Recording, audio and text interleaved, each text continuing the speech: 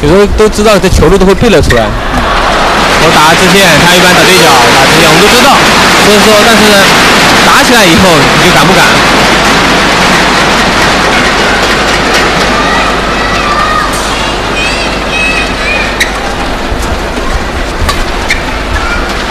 铁内，判断失误，这种分丢的太多了。对对，包括第一局也是，他控制他头顶有很多。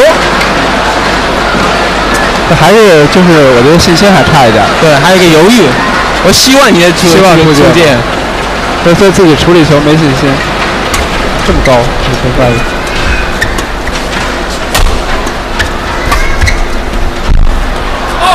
嗯，人家以为不会出界，故意的。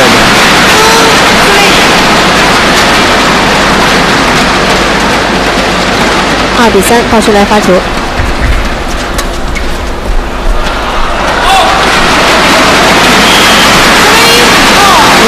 林丹两连续两次界外。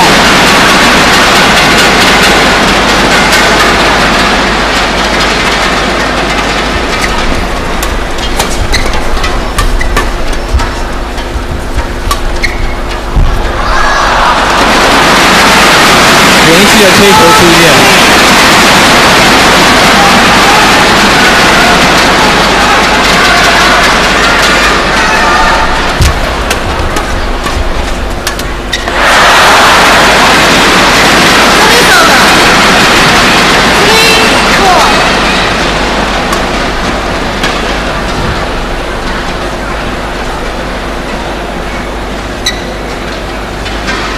三比四，林丹发球。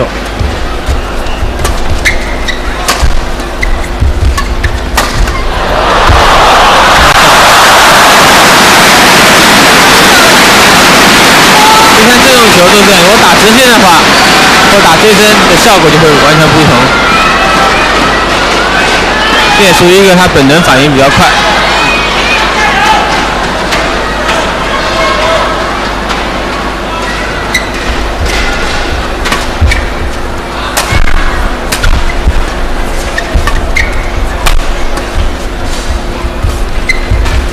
宝山现在就盯着他这个反手往前，对。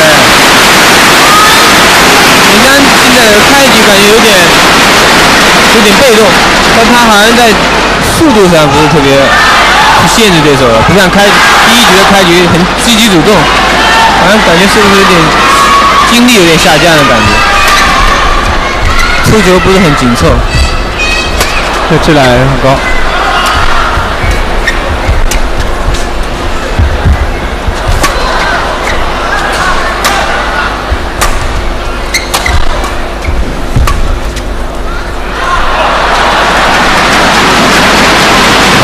你对小豹的了解，他在这个身体素质上面、杀球力量上面还有提高的空间吗？呃，那肯定会有提高的空间，包括他的爆发力。像包春来的话，就要这种瞬间的爆发，因为他人高，出手的时候快的话，他杀球会杀球更威胁大了。对，速度更快，不像那种，但我们杀球不会像双打子那种很重，我们会讲究要讲究的一个快，就连贯的快要。因为我觉得像刚才他在往前已经制造出这种机会，如果像换成你或者陈红、呃陶菲克，都会非常坚决。对方这球肯定是要起后场高球，很坚决我就要去杀你了。但他呢就没有办法，比较软。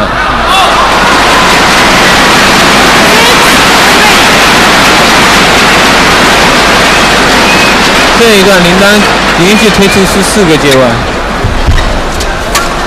看这球，这球杀，再给杀，杀死。林丹这一段就属于我刚才说有点像消极，消极的限制推让对手，还是放他往前，还是来了，这球质量更差。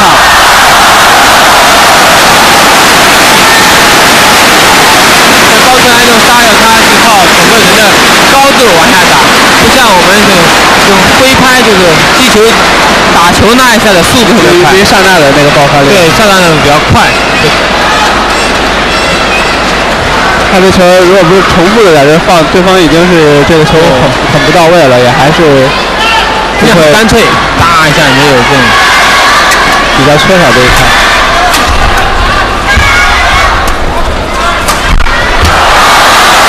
像我们所说的刚才有一种寸困境。靠靠一刹那的寸劲爆发力一样。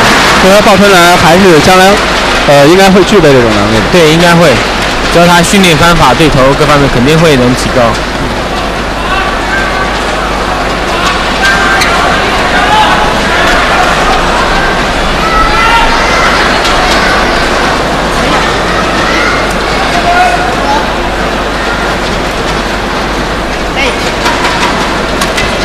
林丹现在夺回发球权，三比七，第一局他是胜。哎，这个点哈，两个都容易比较出界，是不是会有点顺呃侧风的味道？不错，不错，其实。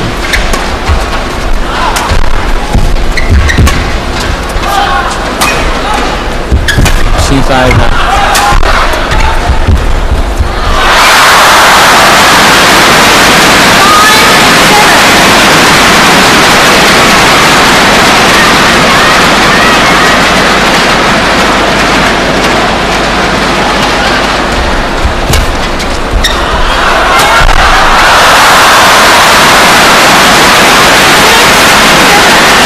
这个半传球机会没把握住，杀个界外。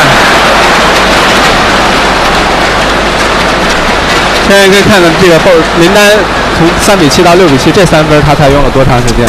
鲍春兰刚才涨到七分用了多长时间？这已经骗到了，那现在是。这你看一个出手上的变化，拿到球以后突然靠着末呃靠着手指末梢去发力。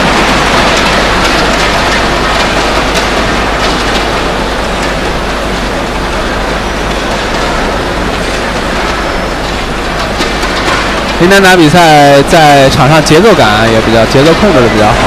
对，就很早就会这样去控制东西。对，因为他第一他年轻，为什么成绩好，就是因为他节奏控制比较好。因为我曾经跟他经常在决赛、半决赛碰到的时候，我就觉得他感觉他这个比较好。他现在会有一个更好的，就是说我很顺的时候，他会追着对手打，他有这个，以前不会。所以他现在有这个提高也是这样，但自己很不顺的时候。对吧？会把这种不顺的局面时间拖长。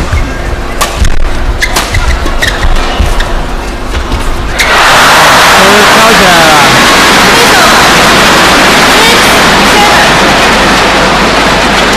六比七，林丹罚球。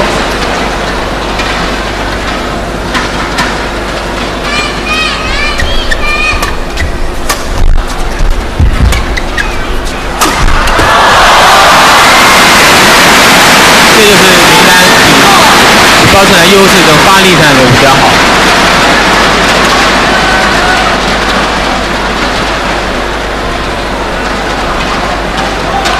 现在追到了七平。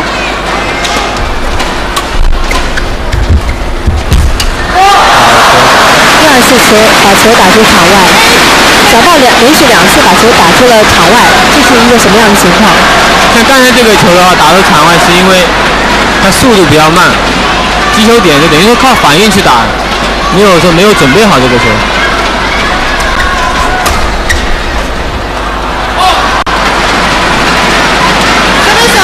这个球已经战术很明显了，从对头打出界外，